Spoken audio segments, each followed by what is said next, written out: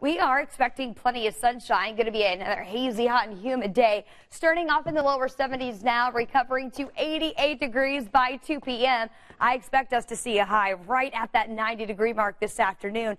Noticing that we still have a lot of sun despite the fact that there will be some increased clouds that develop with the heat of the day closer to the afternoon hours. Now let's talk about that protection from the sun because the UV index is at a 9 today, and that's a very high category, meaning burn times are within 15 to 25 minutes on unprotected skin.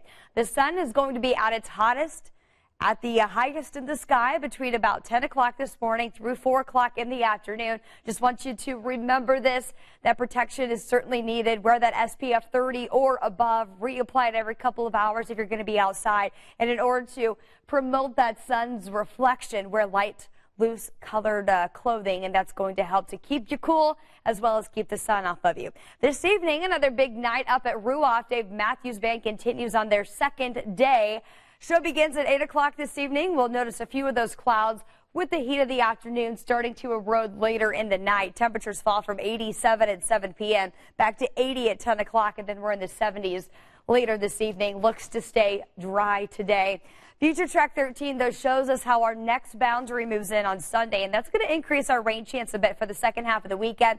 You'll still notice a lot of dry time through the morning into the early afternoon, but then when everything heats up, we'll start to throw some of that atmospheric energy toward the development of these storms closer to the 3 o'clock hour. And then we get into tomorrow night. You'll notice a line of storms trying to develop closer to 6 p.m. This will exit by the time we get into 10 o'clock. As far as that overall coverage area, I don't expect everybody to see this, but still want you to be weather aware as that boundary is uh, potentially set up to bring in a line of storms in the early evening. Tomorrow's heat index going to be a little higher today, feeling more like 93 this afternoon, but come tomorrow, heat index back near 97 in Indianapolis, feeling like 98 in Bloomington, 93 in Greencastle. And then we take you into our Monday, and once again, that heat index stays in the pretty dangerous category here from 95 back up to 100. So a couple of oppressive days setting up with rain chances that will increase as we get into the first few days of July.